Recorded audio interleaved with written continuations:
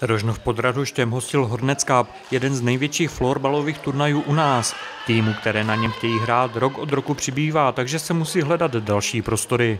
Kromě dvou hal v Rožnově a jedné v Zubří letos prvně poskytl zázemí hotel Energetik. Vyšli si v mnoha věcech, jo. hřiště je prostě nádherné prostředí, možnosti využívat jejich služeb od wellness, posilovnu, z masáže, takže z jejich strany to byl velice střícný krok a děkujeme za to. Na Hornec Cupu 2014 startovalo ve třech kategoriích téměř 60 týmů z České i Slovenské republiky. Právě Lido Women z Bratislavy se představili v tomto utkání v Synod Typ hale. Proti ním hráli v bílých dresech ostravské hysterky. Ty vyhrály nejen tento zápas, ale postoupili až do semifinále, kde nestačili na pozdější vítězky s poetickým názvem Daisy 20. V kategorii žen nastoupili i domácí sršnice.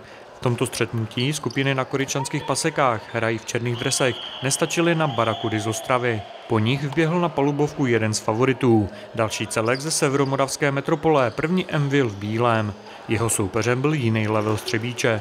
Ostravští florbalisté toto utkání vyhráli a dostali se mezi čtyři nejlepší týmy. V semifinále se však museli sklonit před uměním zatím nejlepšího celku pětileté historie Hornec Cupu Citrus týmu, který pak obhájil loňské prvenství. Z rožnovských celků se nejvíce dařilo Jack Topu, který skončil celkově čtvrtý.